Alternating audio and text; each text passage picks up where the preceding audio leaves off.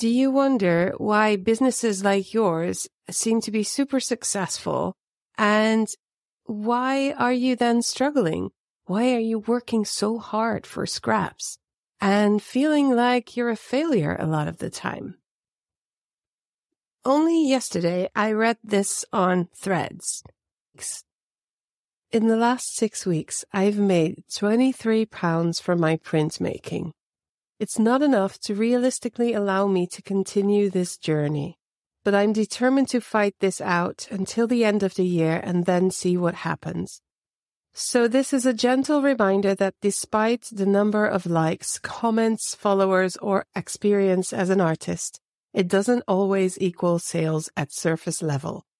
It might seem like I'm doing well, but there's a whole lot of anxiety and failure buried much deeper. Should you keep your creative business going while you're struggling? How can you resurface from a dip or worse? Hi, my name is Saskia de Feiter, and this is Pattern Shift. Are you running a textile craft business or dreaming of starting one? Whether you are trying to make a living or something extra on the side, turning from crafter to business owner can be a steep learning curve. It doesn't have to be. With 16 years of experience in running small businesses in textile crafts and a drive to build a solid alternative to fast fashion, my mission is to provide you with no bullshit, actionable exercises and strategies in a language that makes sense to you, that you can implement right away so you can organize, build, and grow your business. So don't burn out before you get started build a solid base with the help of Pattern Shift podcast and the Ja Wol community and its programs. So in this episode, we'll go through the feeling of failure you can get while you run your creative business. By the end of the show, I'll hopefully you'll feel less alone in your struggles and feel inspired to find out what steps you can take to go forward with your business and feel more confidence around trying some strategies. But before we start, please don't forget to sign up for the pattern shift updates on email and the Ja Wol Business Circle creative business tips and insights. You can do this via the show notes. Go ahead, do it now and sign up while you're listening. It takes just a minute and it is helpful to you and helpful to me. So now let's get into today's episode. I will not name the maker that shared the thread post that I just read. I don't want to make this too much about them. I will, however, link to their website in my show notes so you can discover their amazing work there.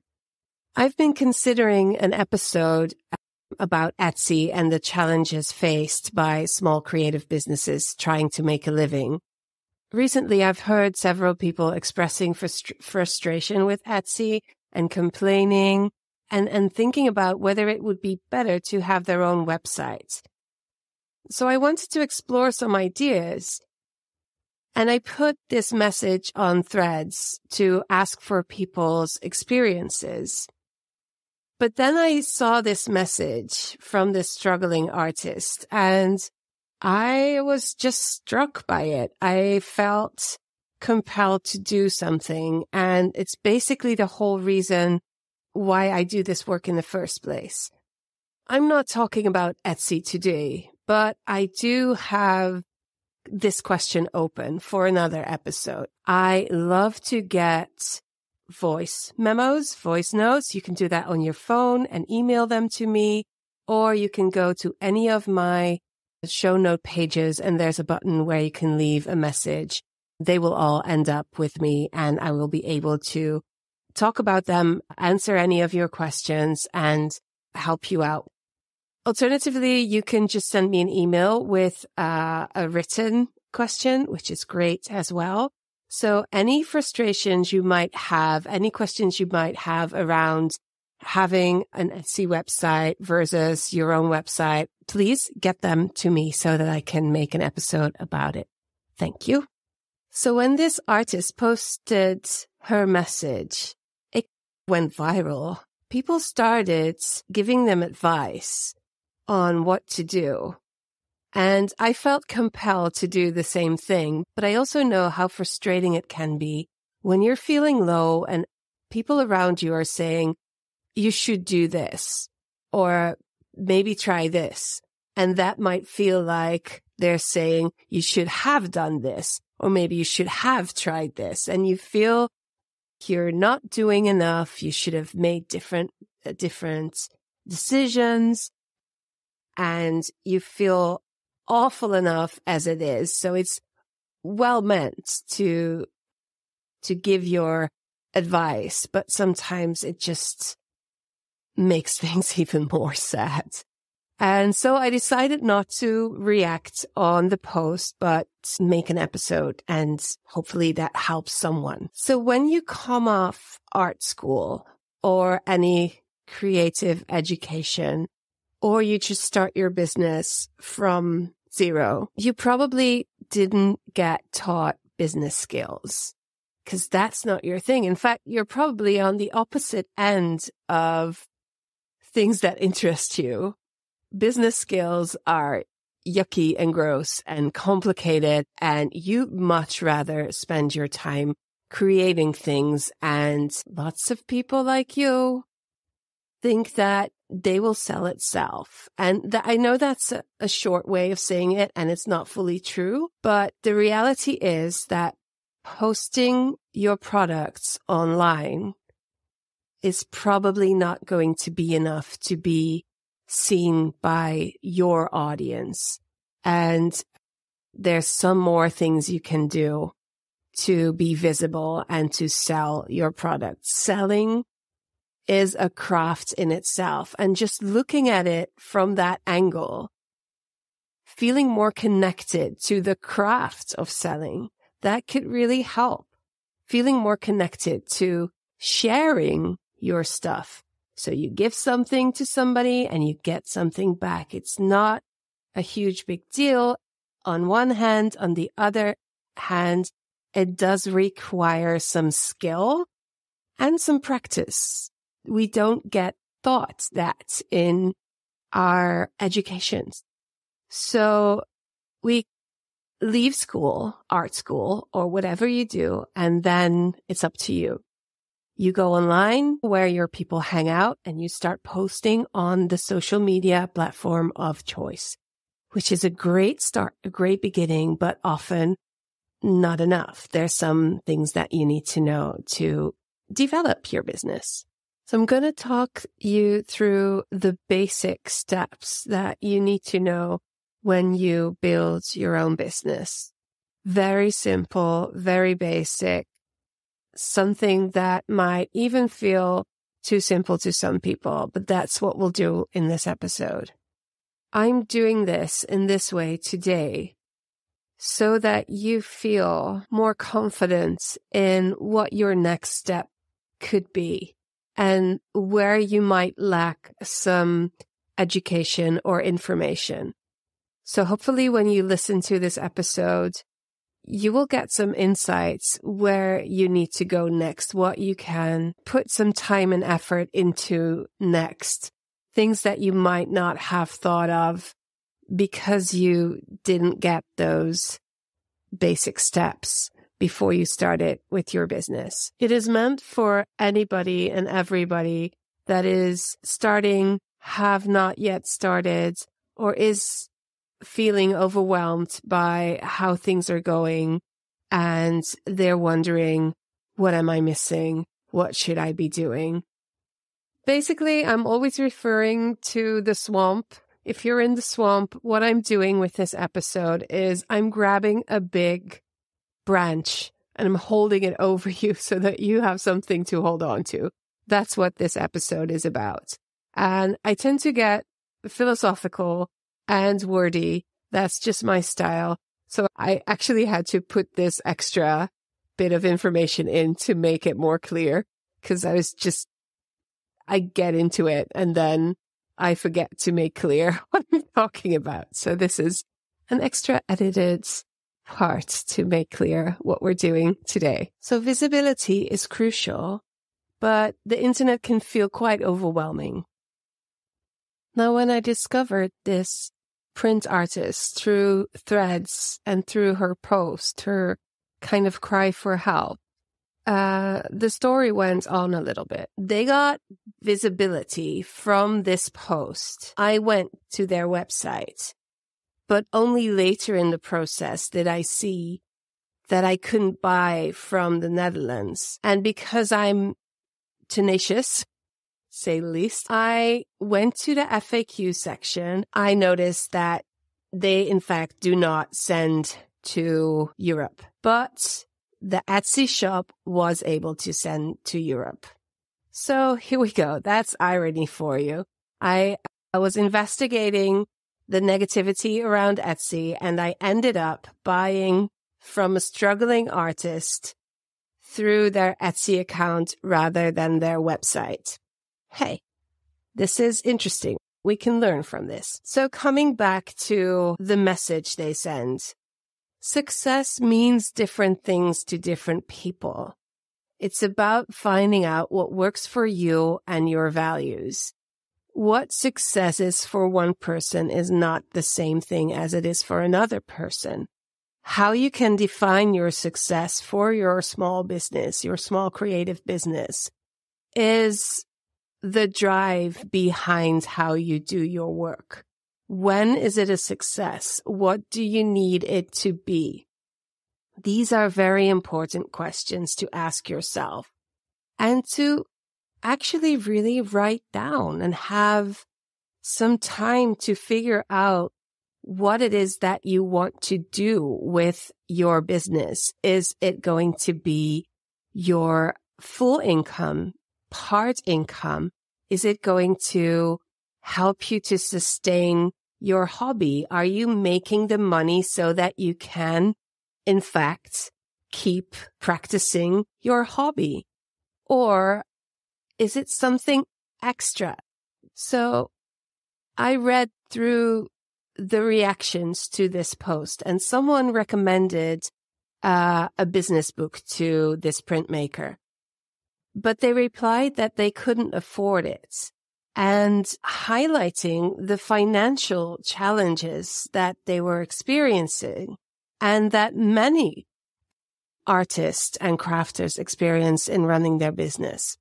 In the last decade or so, people have become much more aware of struggling small businesses and how the uniqueness of small businesses is disappearing because of uh, larger high street brands.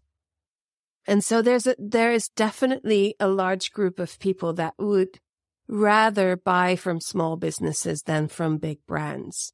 Me, myself, I really choose to support small businesses like this printmaker.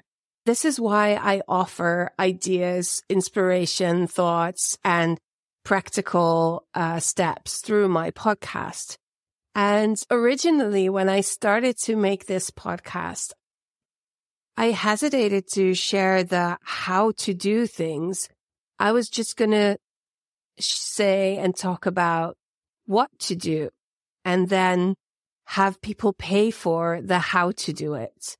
And I was afraid that I might end up losing potential clients because I was giving everything away for free. But seeing the struggles of the small creative businesses around me has really prompted me to be more transparent and share a little bit more of the knowledge that I have freely this podcast is here so I can share with those that can't afford programs in a way that's slower, less personal, but it's still offering you things that can help you. And when you are ready to do deeper dives and, and do the actual work, because it does need accountability, I've seen and it does need a little bit of a community to get you through some parts of it. When you're ready to do that, I'm here eh, with my programs. So you can always move on from the podcast to do some deeper work. And in between, there is the community at a very low monthly cost where you can talk to other business owners and hang out with them and figure out things as a community, as a group, and you don't have to be alone and struggle alone. In fact, we've now just started uh, a new series for the program and already two weeks in, things are happening and there's insights and it's amazing. And you don't actually have to be fully in the program to get that kind of result. You can be in the, the wider community for that lower amount and still get a lot from it. It will mean that you have to be more proactive and you have to show up more. Because otherwise I do a lot of that work for you. I help you to connect and to do these things. And then it, it goes a little bit more naturally. So that's the difference. I'm just putting that in there. So going back to my story, when you cannot afford business books or mentors or coaches, there's a lot of information out there, but it's very overwhelming. Where do you start? What people do you follow? What YouTube videos do you see? What freebies do you download? And what email lists will you follow? It, there's a lot there. And when I explain to people what I do, they usually say, well, that's very niche. It is very niche, but it makes it a lot easier for people to find their person because there's not a lot of people that will help small businesses in the slow fashion and creative textile craft, needlecraft industry to grow their business or to build a solid base for their business. There's not a lot of people there. So that makes it easier to find me. So if you, if you do not have a budget to do some work around how to move your business forward, what things to try, what strategies, what's the next thing to do, then listen to this podcast. It'll help. But to start off, let's finish this episode first. What I want to do is I want to go through some very basic steps that I don't think are talked about often enough because either people think that they all, they should already know it or the people that share their knowledge feel like it's too simple. And I'm not too proud. I will go to super simple and I will explain it like I explain it to a five year old because sometimes that's what you need. You don't want to know how long it took for me to understand the difference between your mission and your vision. That, that these are things that if you don't learn them, you don't know them. It's simple as that. And I'm here so that you can have that information. And if it's something that is super simple for you, great. Then you can now go and do something else and go craft. And that's wonderful.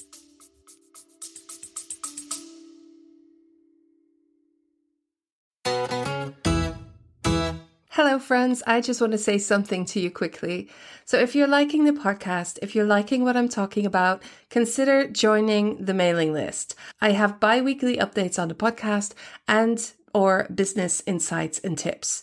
The occasional exercise to get you ahead. If you want to actually talk to other business owners about the things that I talk about here on the podcast, why not become a Ja Wol community member for as little as 8 euros 50 cents a month? That's like buying me coffee and a croissant. But don't do it for me though. Do it for yourself because I promise that you will get something out of it, either the emails and or the community. So you can either go to the show notes or sign up through jawol.myflodesk.com slash pattern shift. I hope you'll join us.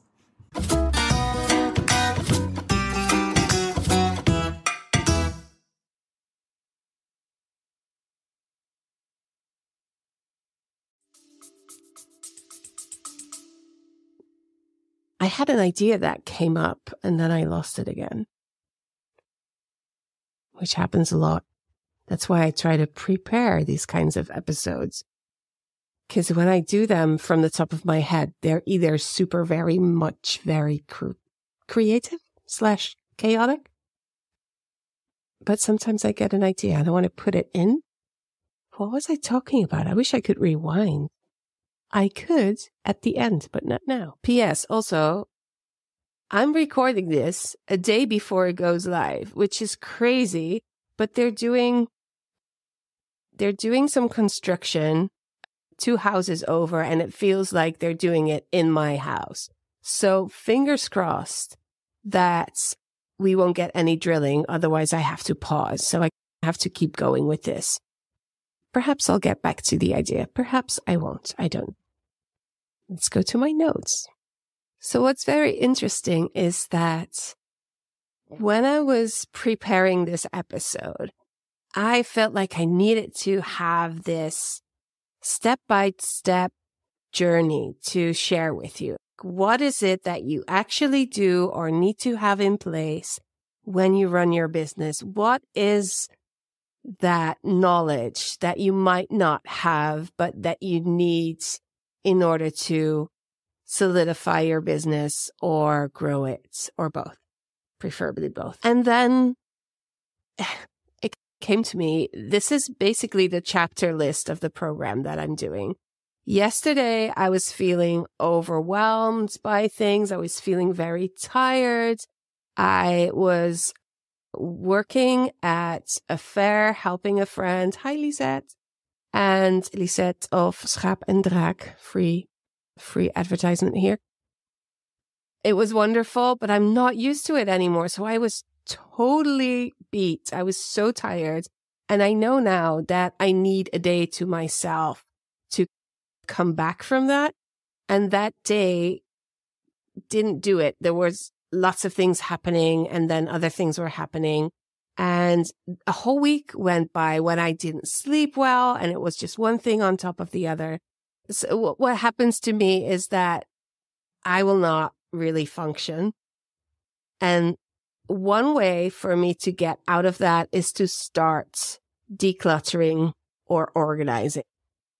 Cause that for some reason really calms my brain and in the process gives me new ideas and is just very comforting to me. So I started organizing my my files on my computer. I'm learning how to use Pinterest for my business in a more productive way than I have done so far. And even in that, in making my boards, I fell back to the chapters of my program and it basically is this journey. They are uh, a roadmap. Today, I would like to offer you a very simple roadmap of some topics that are worth investigating. And so that you have at least a start and from there, you can build your knowledge around running your small creative crafts business. So let's go back to what I was saying before. Defining success for you is one of the first things that is important to discover. So try to answer this question. I feel my business is successful when or a successful business for me is, and take some time to think about it. Write it out. Le- go for a walk. Come back, journal some more, talk to a friend, really investigate what it means for you to have a successful business. And how does that make you feel? If you close your eyes and you had this magic wand and you could say, poof, this is what it looks like for me to have that business, then really visualize what your day would look like, what your weeks would look like, what the goals for you would be once you get there. Is there something even bigger that you can dream of? Get in touch with what it means for you to do what you love in the format of a business rather than having a hobby. All right. So that's one. Redefine what success is. Figuring out what your goals are. Then if you know what that looks like, then you can start to work back from that. Now, I'm not going to tell you what success is. I'm just going to go and use financial success as an example. What does it mean for you to have an income? How much money would you need on a monthly basis? How much money would you be thrilled about? How much money would you be ecstatic about? Find that difference. Find that sweet spot of enough, great, magical, and feel what that means for you. So when we go back to the enough, then we can start thinking really practically. So first, you do all this deep work about your needs, your values, what's success, what are your goals, all that kind of work goes deep and is about you as a person and what makes you content to ecstatic or happy. I think happy is a complicated word because sometimes we think that we always have to be happy all the time, which isn't realistic in my opinion. But like the scale of happiness, that's what I'm talking about. Knowing that, knowing the kind of product or service, let's say that you're a craft teacher or, or you do upholstery, how much of that do you need to do to get to that financial goal at the end of the month? Of course, that is without cost and without the rent of your studio, without the cost of your material. And remember, I'm talking in very basic terms here. So you might be going, duh, duh, and that is okay. I'm still go, gonna go ahead with this because some people dream of doing this work and they don't know about this stuff yet. So I'm gonna stay on this kind of level today. But if I would take a beginner's lesson in knitting, I would most certainly learn new things. So I would say just stay here and perhaps you'll pick something up that you didn't know. You never know. So then figure out what, what the costs are of making your thing, offering your thing and know what is left for you as a profit. Now, this is quite detailed work. And it's sometimes so hard to know. So if you cannot do it really specifically because your business is now too big or you're unorganized or things are all over the place, go with your gut feeling so that you have something to work with. Just make it very practical. I have to sell at least five sweaters to be able to make a living per month. And that is when you know how much you charge for a sweater and when you know how much you want to have at the end. So there's different variables going on there. Variables? Variables. They're ver- they vary in the way that you pronounce them. So these are moving elements, right? So when you sell a lot of cheap items, you can make the same amount of money from selling a few more expensive items. That makes sense. This is where you decide that what is a fair price, what makes sense. If you think about your pricing in terms of income, in terms of your goal, what would then the price be? And don't think about your your clients. Don't think about your followers. Uh, you will probably say they'll never pay this amount of money. And that's okay. In this exercise, you just want to figure out what realistically, what kind of work you realize, what kind of work you realistically have to do to get that kind of an income. How much time will it cost? Can you really put in that amount of time. And that is also a little bit of the work around your boundaries, your values. How much time can you realistically work keeping yourself and your loved ones happy and healthy? This is so important. If you don't think about this, you will burn out. It will take a while, but in the end, if you work too much, it is not a sustainable situation. On the other hand, also realistically, sometimes you have to double down. Sometimes you have to really work hard for a while to get something done, to get something moving. That's okay. That's part of it, but it has to be a balance. So with these moving parts, how much time do I have? What is the cost of my products or multiple products?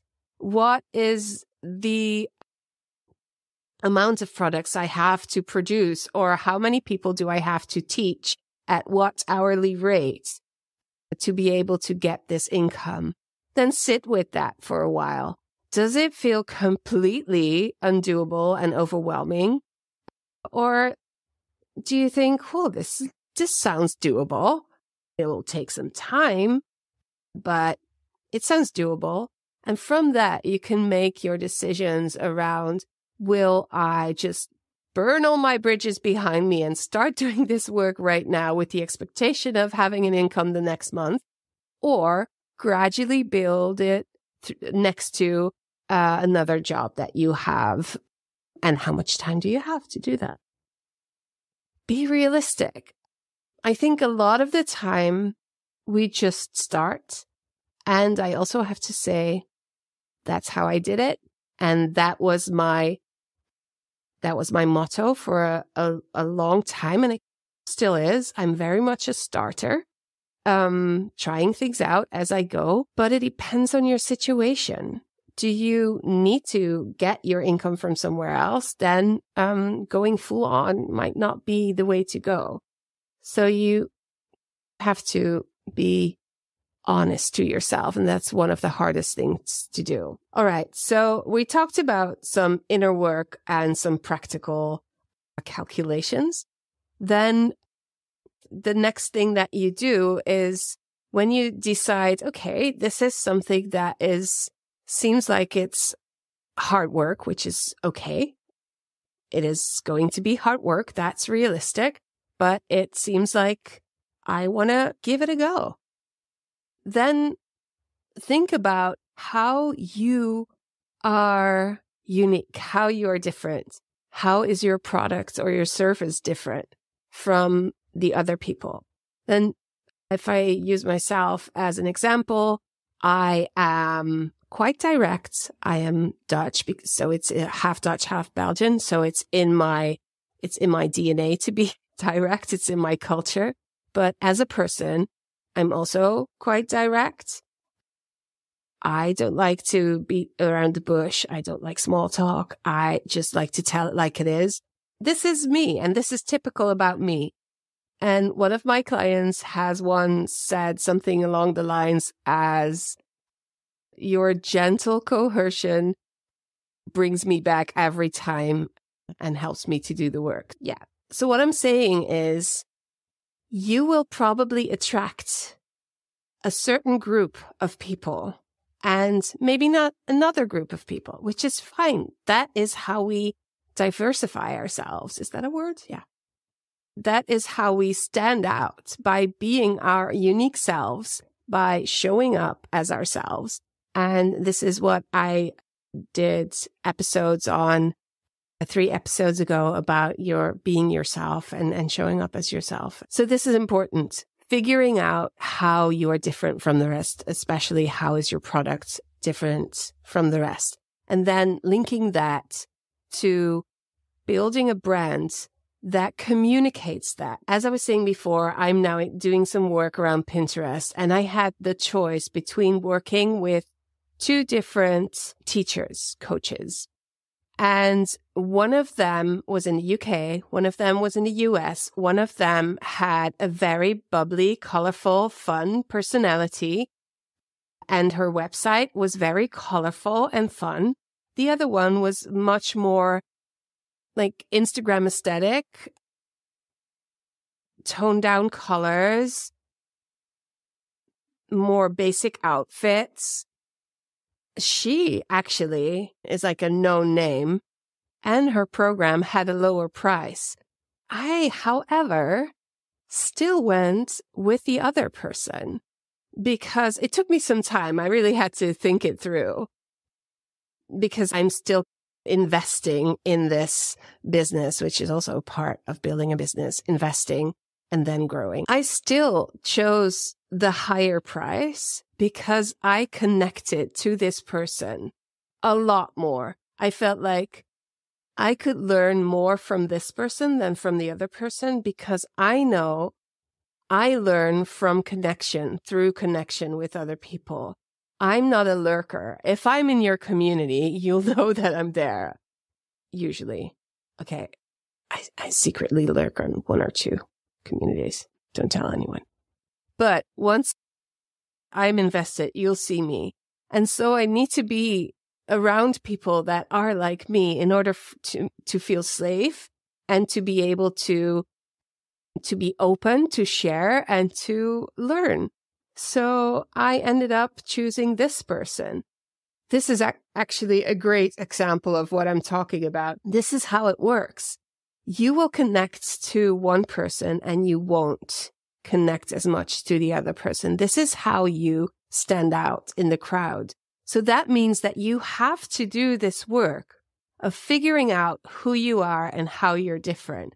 And it's not always easy, but it is essential. And what you should not do is just picking a vibe that you like online from one of the other businesses like yours and following and like basically copying them. That could be part of the process.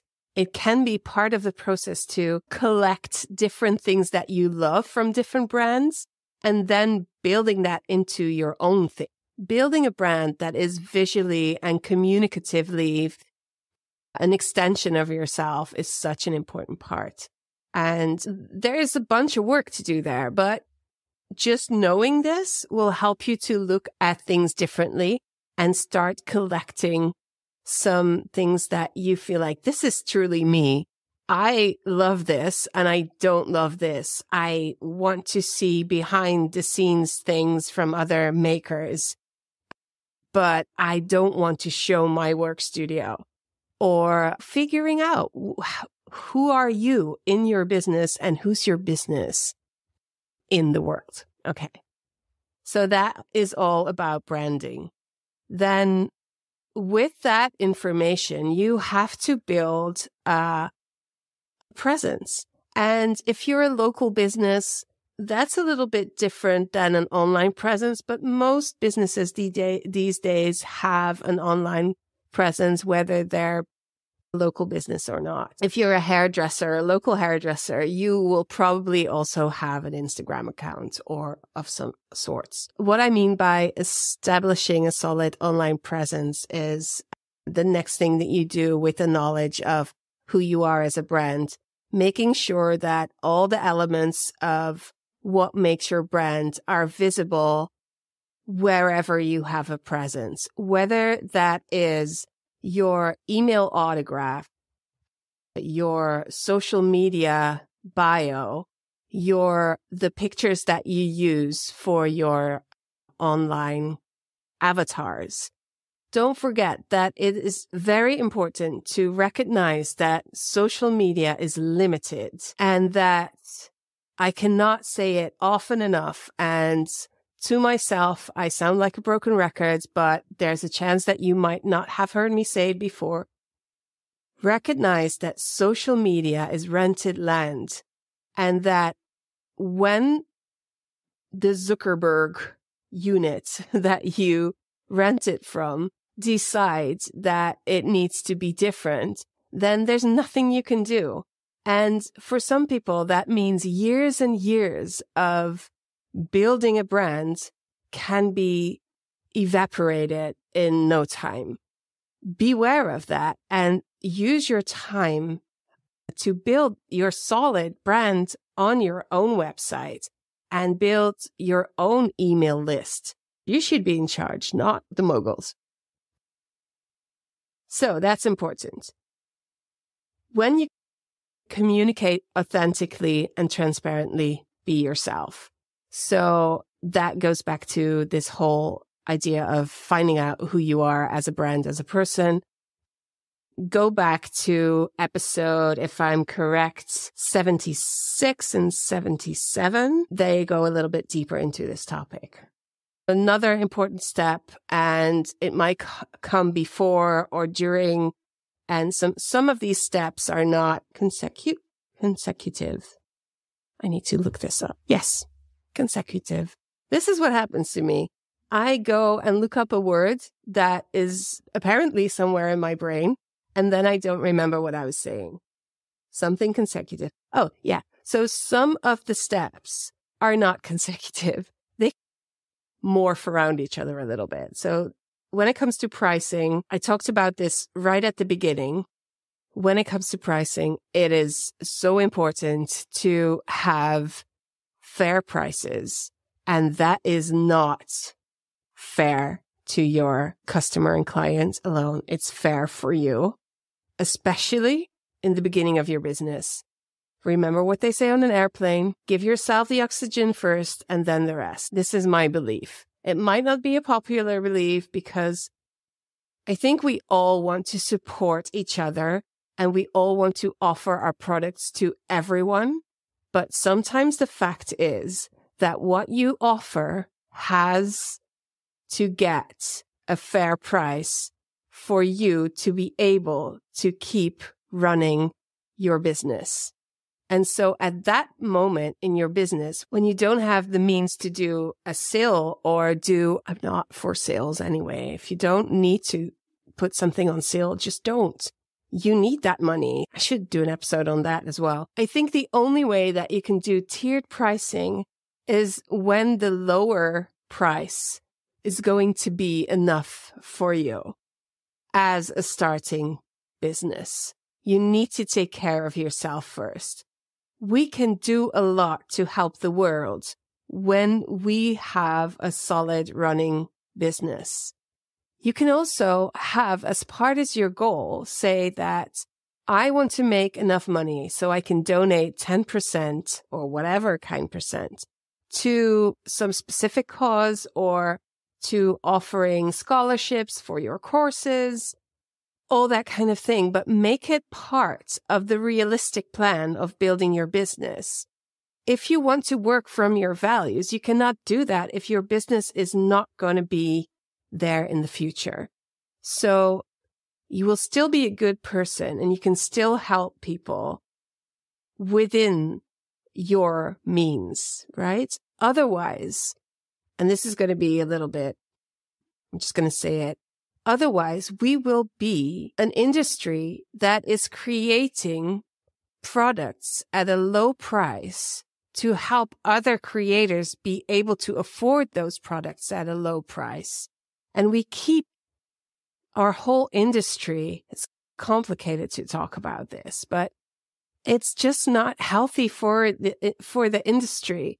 And as a business, you are a business.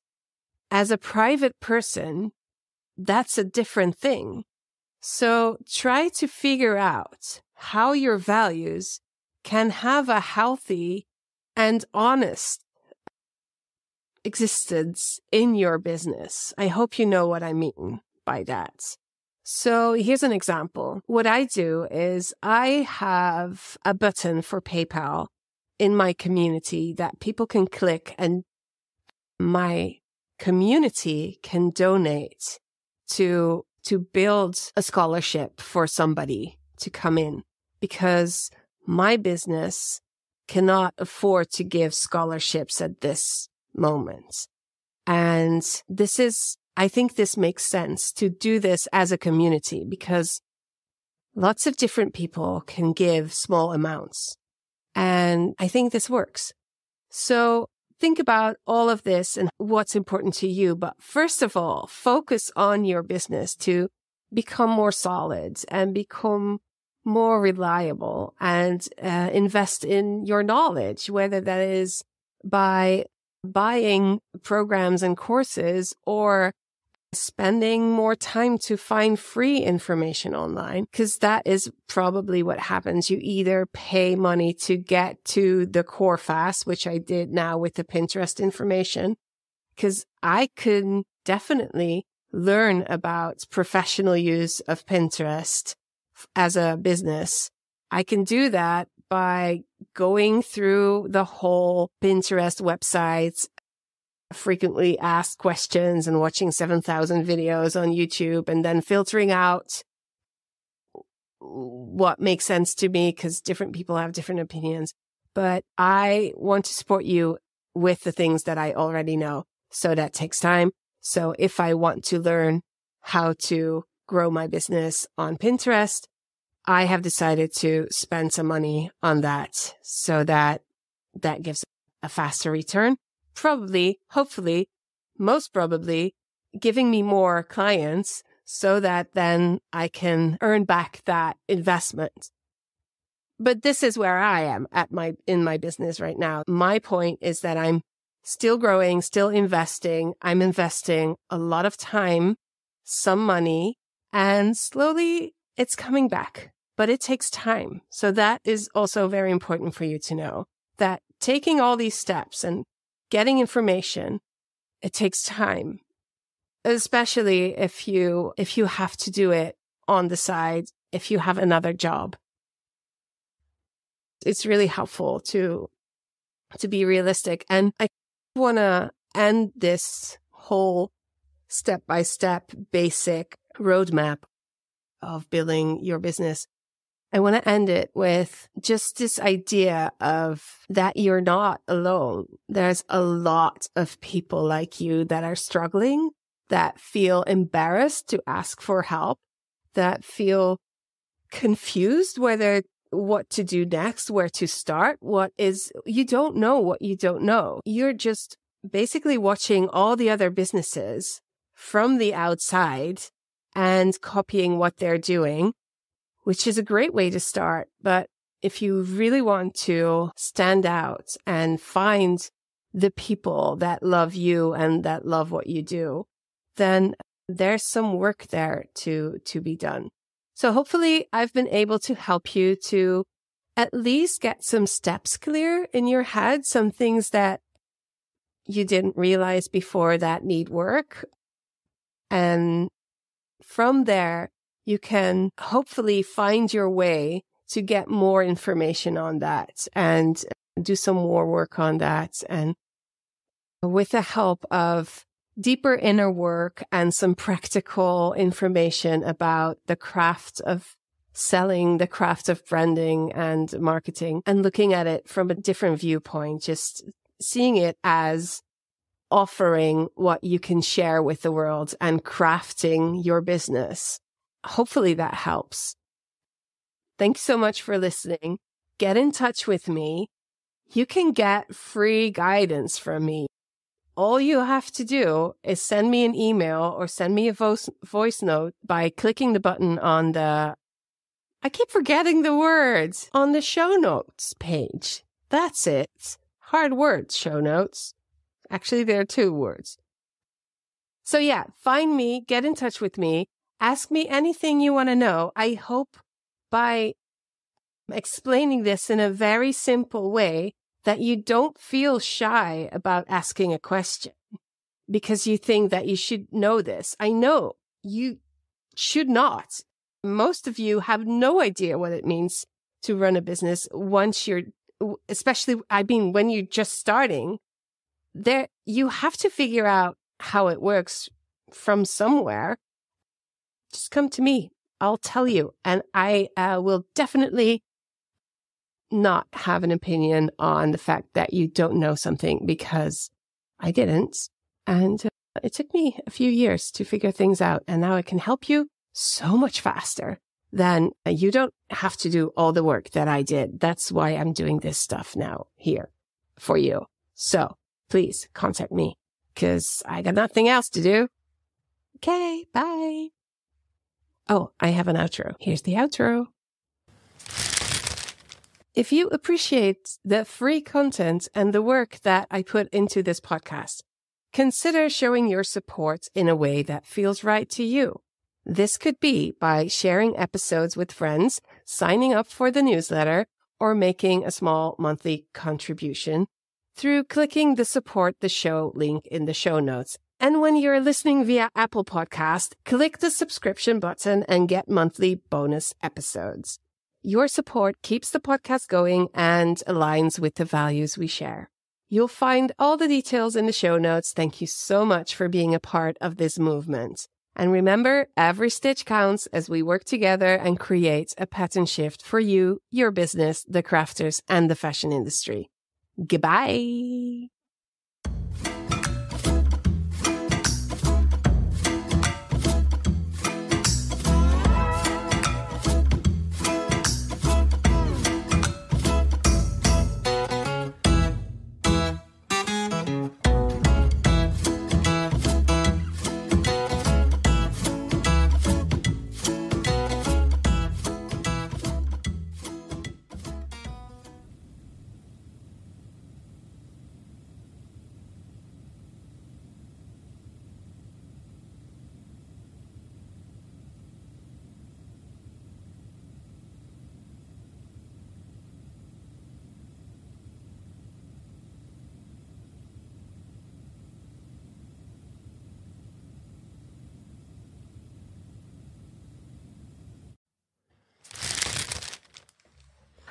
I'm here with a quick reminder to tell you that the Ja Wol Business Circle, the new cohort, starts the first week of March. The early bird prices are now up on the website. So if you are ready to get to work with me, get shit done in your business, this is the time. Go to www. I don't know why I keep saying www. Go to ja-wol.com or even patternshift.fm and find all the information you need on the Ja Wol Business Circle. I hope you will join because I can't wait to start working with you.